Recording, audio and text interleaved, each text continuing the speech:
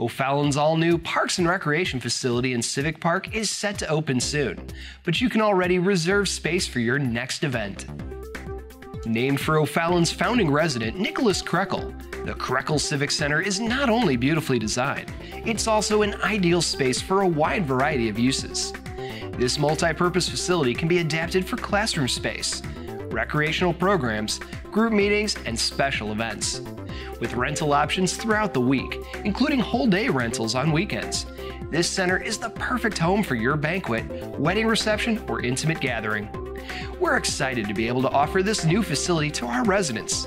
And you can learn more about the Krekel Civic Center's many amenities and rental options in your Autumn City newsletter or online at the Parks and Recreation website.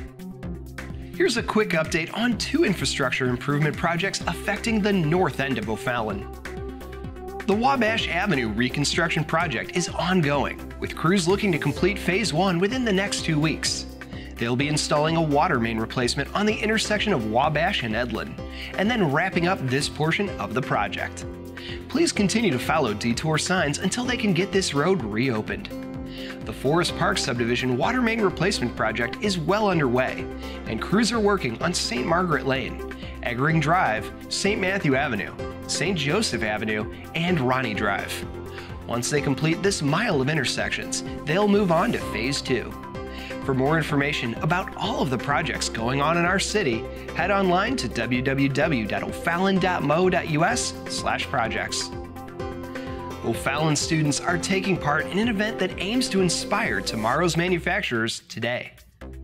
Middle school and high school students throughout O'Fallon will be heading to St. Charles Community College on October 2nd to attend Manufacturing Day, an event that connects students with manufacturers from throughout St. Charles County.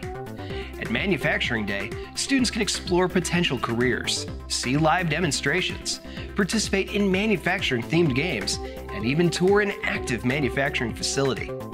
If you'd like your student group to participate, please note that student tour reservations must be made in advance.